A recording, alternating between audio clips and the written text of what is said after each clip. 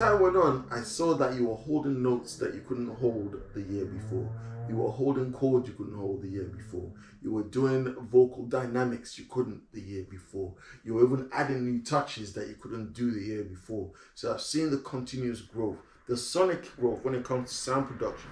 You had a vision in mind. It took a long time, a long time working with guitarists, bands in the UK and in America, Texas, yeah, Texas as well just building a sound that you had in mind to what you have now.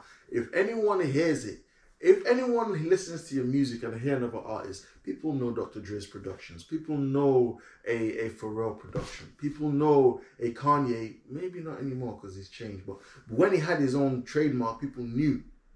People know an Inder Paul sound. When they hear it, it's like, yeah, that's Inder Paul. You're making your own brand of sound sonically and you're putting a unique voice in there as well.